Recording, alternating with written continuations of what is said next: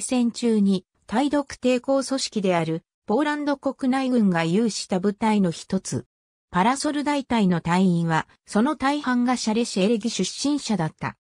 1944年のワルシャワ放棄では、ラドスローグループの一部として市外に展開した。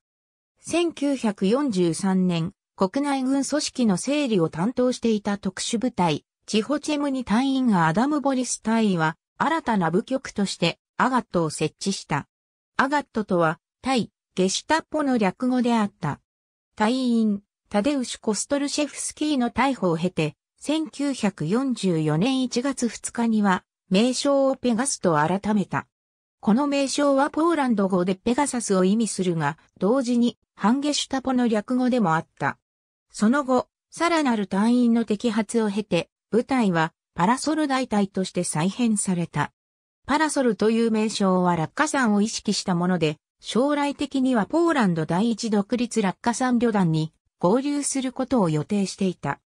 パラソル大隊は1943年から1944年にかけて複数の軍事作戦を実施した。ワルシャワ地区の統治に参加していたゲシュタポ将校や総督府高官の暗殺もパラソル大隊の任務であった。複数実施された暗殺計画の中でも特に有名なのは、ワルシャワ地区の親衛隊及び警察指導者、フランツ・クッチェラ少将の暗殺であろ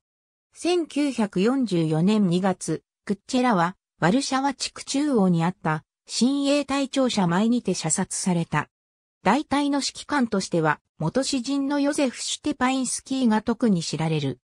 ポーランド軍の特殊部隊である JWK の主位隊は、パラソル大隊の伝統を受け継いでいる。ありがとうございます。